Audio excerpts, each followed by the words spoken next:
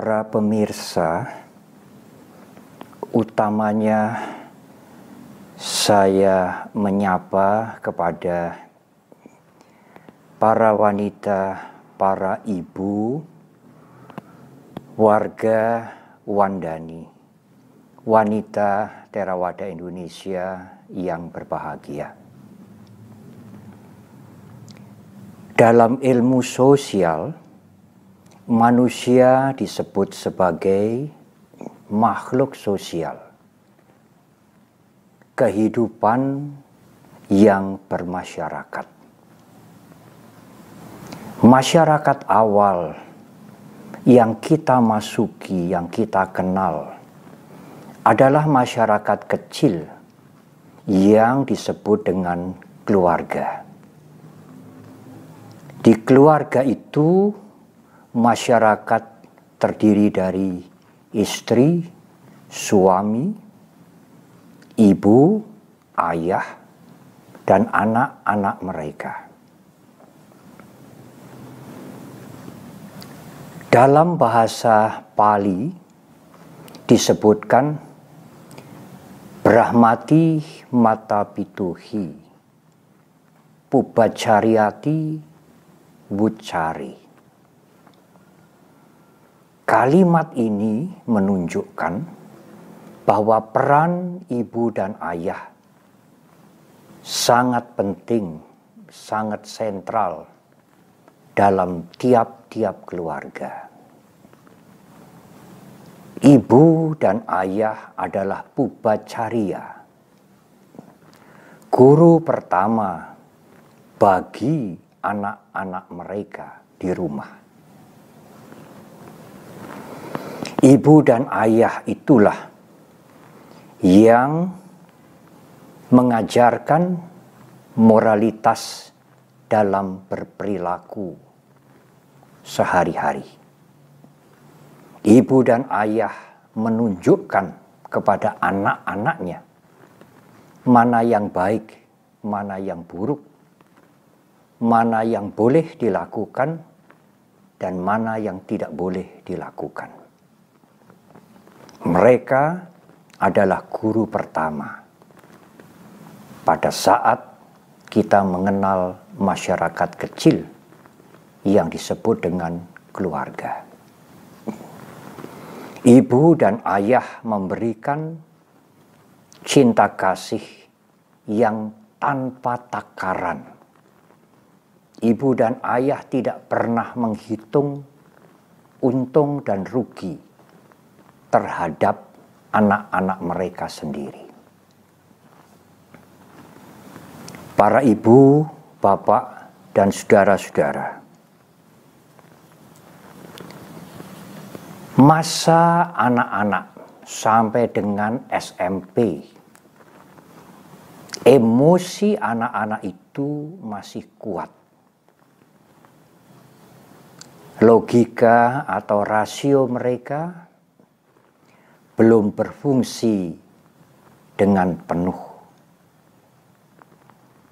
Anak-anak sangat mudah mencontoh apa yang dilakukan oleh orang tua mereka dalam kehidupan sehari-hari yang mereka lihat setiap hari dari ibu dan ayah mereka.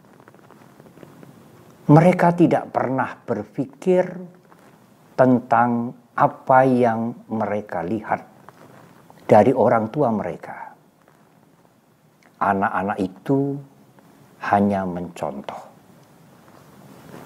Namun sayang, banyak ibu dan ayah orang tua yang tidak menyadari hal ini, bahwa perilaku mereka dicontoh oleh anak-anak mereka.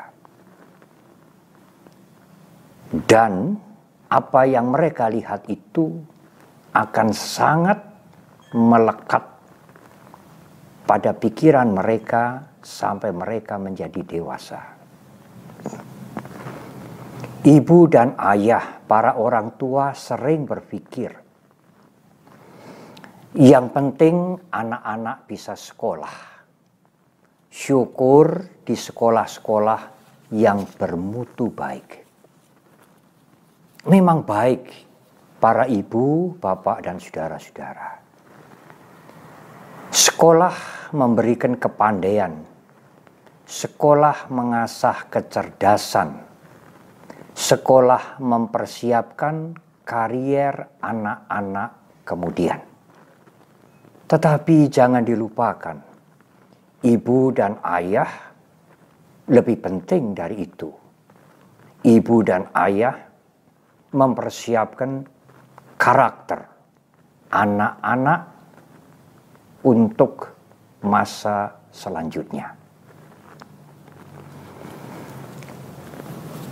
Ibu dan ayah, kalau masing-masing sibuk dengan pekerjaannya sendiri-sendiri. Masing-masing hanyut dengan urusan duniawinya sendiri-sendiri. Hampir tidak memberikan waktu kepada anak-anak mereka. Maka anak-anak mereka akan mencari orang-orang lain yang bisa memberikan perhatian kepada mereka. Suatu saat anak-anak itu melalaikan tanggung jawab. Menghadapi kegagalan kemudian kecewa. Apakah peran ibu dan ayah? Kalau ibu dan ayah tidak berperan pada saat-saat seperti itu, anak-anak akan mencari figur yang lain. Hanya ibu dan ayah sesungguhnya yang bisa menghibur, memberikan besar hati pada saat anak-anak itu mentalnya down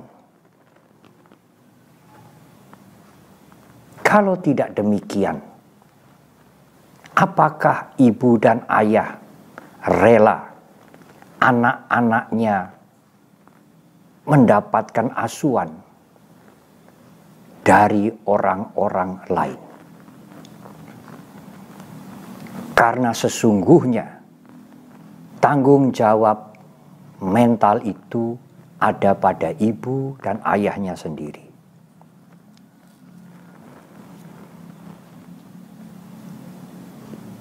Para ibu, bapak, dan saudara-saudara. Pesan saya, cobalah hal ini diingat. Sederhana, berikan waktu kepada anak-anak saudara.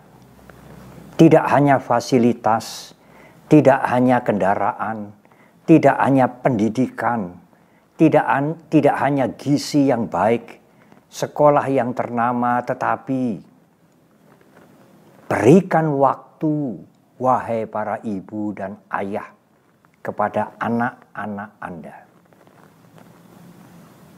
Bangun komunikasi yang nyaman, supaya anak-anak kalau sedang bete bisa curhat kepada orang tuanya sendiri yang mereka cintai, bukan kepada orang lain. Anak-anak akan mencontoh ibu dan ayah mereka, bukan hanya urusan puja bakti, bukan hanya acara-acara keagamaan tetapi anak-anak itu sekali lagi mencontoh perilaku, mencontoh perilaku orang tua mereka. Mereka mencontoh perilaku ibu dan ayah itu sepanjang hari, selama mereka tinggal bersama dengan orang tua mereka waktu mereka di rumah sebenarnya jauh lebih berharga dibandingkan dengan waktu mereka di sekolah. Ibu dan ayah sudah seharusnya memberikan contoh berperilaku jujur. Ini adalah faktor yang sangat penting bagi anak-anak mereka sendiri. Anak-anak akan melihat bagaimana orang tua kita, orang tua mereka berperilaku jujur kepada banyak orang. Bagaimana orang tua mereka menepati janji mereka. Utamanya janji kepada anak-anak mereka sendiri. Orang tua, utamanya ibu, ayah, juga kakak tentu, tidak gampang membuat janji-janji manis kepada anak-anaknya, kepada adiknya yang tidak ditepati anak-anak akan mengingat hal itu dan bisa menimbulkan antipati kepada orang tua mereka sendiri. Jujurlah dalam menaati waktu, juga jujurlah dalam hal keuangan. Ibu dan ayah yang tidak bisa menahan emosi mudah meledak-ledak. Tidak ada waktu tanpa pertengkaran. Tiap hari antara ibu dan ayah, antara ayah dan ibu. Emosi yang dipertontonkan kepada anak-anak itu akan menghancurkan anak-anak di hari depan mereka. Emosi yang tidak bisa dikendalikan itu akan menjadi ingatan yang kuat bagi anak-anak mereka. Istri dan suami, ibu dan ayah yang tidak bisa mengendalikan emosi, tidak mempunyai kesabaran dan tidak bisa menahan emosi mereka, tidak mempunyai dhamma dan kanti, emosinya diumbar, bahkan dengan mengumbar emosi merasa puas. Lebih baik tidak usah berkeluarga. Karena emosi yang tidak terkendali, tidak ada kesabaran, tidak ada usaha menahan diri, akan menjadi sumber malapetaka dalam keluarga. Banyak kasus kasus keluarga, kasus di kantor, dan lain-lain. Yang kemudian orang tua pergi bertemu dengan para biku, dengan psikolog, mengeluh, meminta jalan keluar.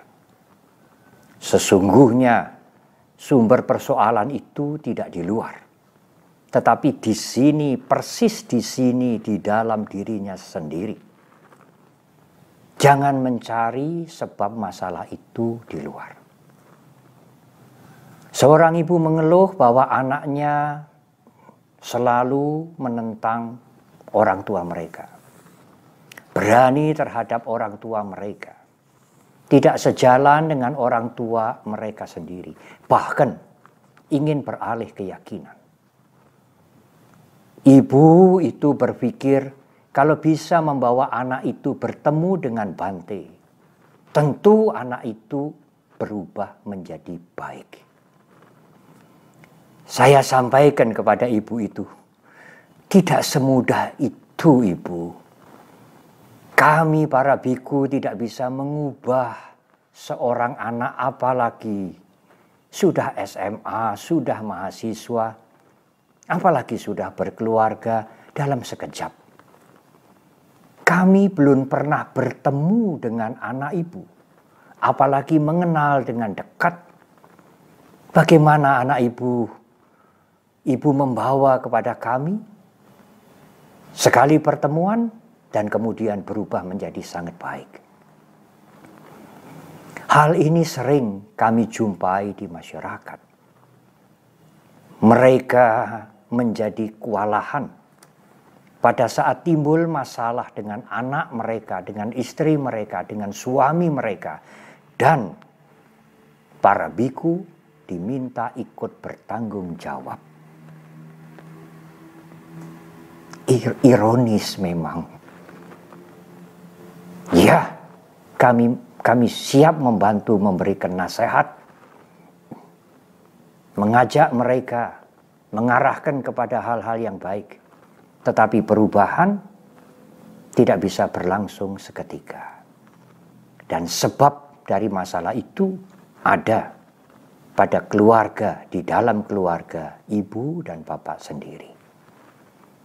Mulailah dengan mengendalikan emosi, dengan mengendalikan diri, dengan memberikan waktu, membangun komunikasi yang baik kepada anak-anak Anda sendiri bukan anak-anak orang lain sejak awal. Ini adalah kewajiban penting tiap-tiap ibu dan tiap-tiap ayah. Keteladanan yang lain yang tidak kalah pentingnya bagi anak-anak adalah jaga. Jaga artinya peduli kepada mereka yang memerlukan bantuan. Peduli kepada mereka yang memerlukan bantuan adalah keteladanan orang tua yang bisa dilihat langsung oleh anak-anak mereka. Ini mengajarkan anak-anak untuk tidak egois, mengajarkan anak-anak untuk bermurah hati. Karena peduli, berdana, menolong, memberi kepada orang lain itu sebenarnya bukan pilihan tetapi keniscayaan. Atau dengan kalimat yang lebih mudah, keharusan. Keharusan kita untuk peduli pada yang lain. Keharusan kita untuk menolong, berdana kepada yang lain. Bukan sukarela, bukan pilihan. Mengapa? Karena hidup kita juga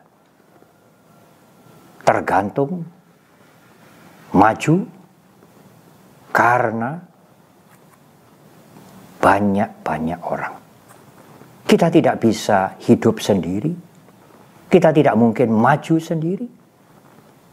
Orang-orang orang lain berperan dalam hidup kita. Kita memerlukan orang tua. Kita juga memerlukan guru-guru. Guru-guru memerlukan petani. Petani memerlukan teknokrat Rakyat memerlukan pemimpin. Pemimpin memerlukan para ahli. Para ahli memerlukan petani. Petani memerlukan pedagang. Pedagang memerlukan guru-guru untuk mendidik anak-anak mereka dan seterusnya. Oleh karena itu, marilah kita peduli kepada mereka. Membantu mereka, menolong mereka. Itu adalah keniscayaan keharusan, bukan sukarela. Dan itu harus dibangun sejak anak-anak masih dalam rumah tangga. Masih mempunyai banyak waktu bersama orang tua mereka. Apa yang dilakukan orang tua sangat berarti untuk anak-anak mereka. Sering dikatakan, satu kali contoh lebih berharga daripada sepuluh kali nasihat. Kalau Anda memberikan contoh satu kali, mempunyai nilai, mempunyai kekuatan yang lebih kuat dibandingkan dengan sepuluh kali Anda ngomel. Sekali contoh lebih berharga daripada sepuluh, sepuluh kali nasihat. Satu kali contoh lebih berharga dibandingkan dengan 10 kali nasihat. Ibu, bapak, dan saudara, perilaku orang tua yang konsisten, yang baik, yang konsisten, tidak pura-pura, akan menjadi faktor yang sangat penting membangun karakter yang tangguh perilaku yang baik, yang tangguh bagi anak-anak mereka kemudian. Kalau seorang ibu, seorang ayah Buddhis mempunyai perilaku yang baik dan konsisten, tentu anak-anak mereka akan menjadi pribadi yang baik, akan menjadi Buddhis sampai kelak kemudian yang mempunyai perilaku yang baik dan juga tangguh. Saya yakin Wandani wanita Theravada Indonesia pasti mempunyai banyak peran dalam mengingatkan para wanita, mengingatkan para ibu-ibu dan mengedukasi mereka tentang keteladanan dan tanggung jawab mereka terhadap anak-anak mereka. Terima kasih.